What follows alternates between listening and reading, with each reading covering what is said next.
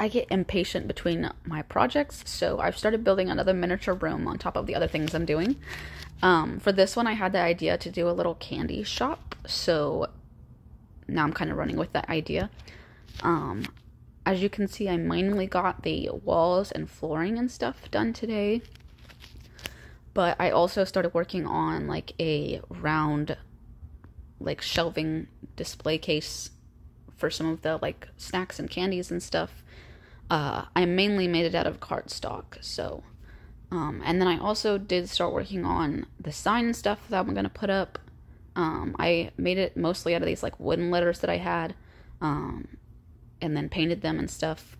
Um, but yeah, I'm happy with it so far, and let me know what y'all think. I think it's gonna turn out so so cute. Um, and then I had this little bubble uh, gum machine that I got the other day, uh, and it's gonna work perfectly with it. So